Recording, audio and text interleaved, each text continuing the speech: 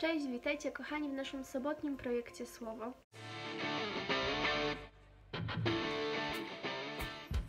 Dzisiejszą Ewangelią jest Ewangelia według świętego Marka.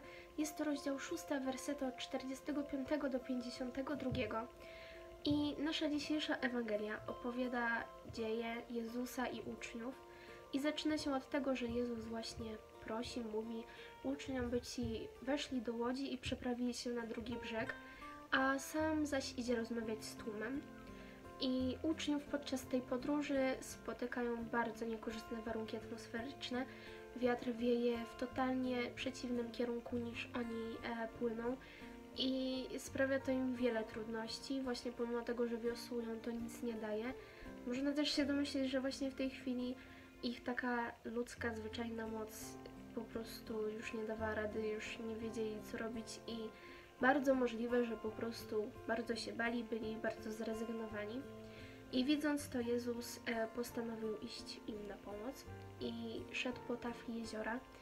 A uczniowie, gdy zobaczyli właśnie jakąś postać, która chodzi po, e, po jeziorze, to wydało im się to bardzo dziwne, bardzo nienaturalne i od razu się przestraszyli, bo pomyśleli, że może być to jakaś zjawa. I wtedy Jezus im powiedział: Uspokójcie się, ja jestem, nie bójcie się. I według mnie Jezus przez tą Ewangelię chce nam powiedzieć, że jesteśmy bardzo takimi niedowiarkami, że często właśnie e, nie wierzymy Jego słowom, bo przecież Jezus nas zapewnia, że jest w każdej minucie naszego życia, że w każdym problemie jest przy nas i często nam brakuje takiej wiary właśnie w to wszystko. Wtedy, kiedy nasza moc się kończy, totalnie nie widzimy już żadnej nadziei i często właśnie się łamiemy. A Jezus chce nam powiedzieć, że mm, dziecko, nie potrzebujesz takich namacalnych dowodów tego, że jestem, bo po prostu musisz uwierzyć mi na słowo. Ja naprawdę jestem w każdej sekundzie, w każdej minucie Twojego życia. Nawet wtedy, kiedy Ci się wydaje, że mnie nie ma, to ja jestem. I naprawdę działam wiele, by w Twoim życiu działo się dobrze. I tak samo są właśnie słowa pewnej piosenki, gdy kończy się ma moc, tam początek Twojej potęgi jest. Więc właśnie kiedy kończy się ta nasza taka ludzka moc, wtedy Jezus jeszcze bardziej działa w naszym życiu.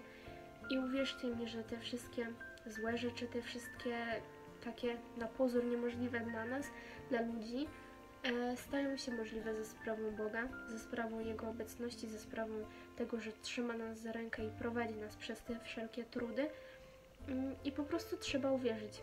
Jezus zaprasza Cię dzisiaj do uwierzenia Mu na słowo, do wiary w Jego wielkie miłosierdzie, do wiary w Jego potęgę, do wiary w to, że On może czynić cuda i że może nas wyrwać z największej ciemności. I z tym słowem Was zostawiam. Mam nadzieję, że przez dzisiejszy projekt Słowo Jezus Wam bardzo dużo powiedział, że nie tylko właśnie to, co mi powiedział, tylko jeszcze dodatkowo właśnie mogliście stoczyć z Nim rozmowę, że mógł właśnie powiedzieć Wam wiele innych i wartościowych rzeczy.